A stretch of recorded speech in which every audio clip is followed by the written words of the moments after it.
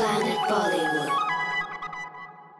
Speculations तो हर जगह होती ही हैं but I don't think there is any any truth to this Aishwarya को लेकर आई सारी रिपोर्ट्स गलत थी। स्पेक्यूलेशंस तो हर जगह होती ही हैं but I don't think there is any any truth to this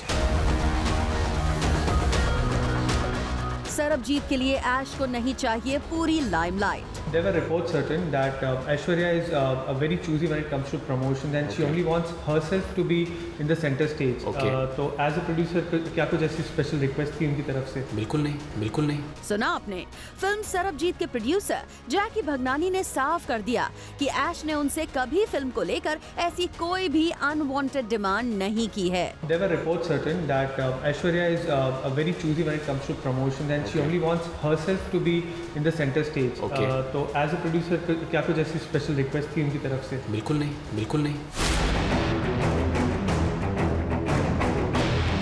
in fact Jackie ने तो पिछले दिनों आई इन सारी रिपोर्ट्स को स्पेकुलेशन बता दिया जिसमें कोई सच्चाई नहीं है। स्पेक्यूलेशंस तो हर जगह होती ही हैं but I don't think there is any any truth to this well खबर ये भी थी कि ऐश के इस बिहेवियर की वजह से एक्टर रणदीप हुड्डा भी काफ़ी अपसेट हो गए थे, क्योंकि ऐश अकेले ही फ़िल्म का प्रमोशन करना चाहती थी। जी हाँ। सरबजीत के प्रमोशन में ऐश्वर्या न रणदीप हुड्डा न रिचा चड्ढा। यहाँ तक कि डायरेक्टर ओमंग कुमार के साथ भी उन्होंने स्टेज शेयर करने से इनकार कर दिया है। लेकिन जैकी ने इन खबरों से भी डिनाई कर दिया है। There were cer- certain reports थे कि Randeep was upset because Aishwarya wanted the uh, the full center stage of promotion to be on her.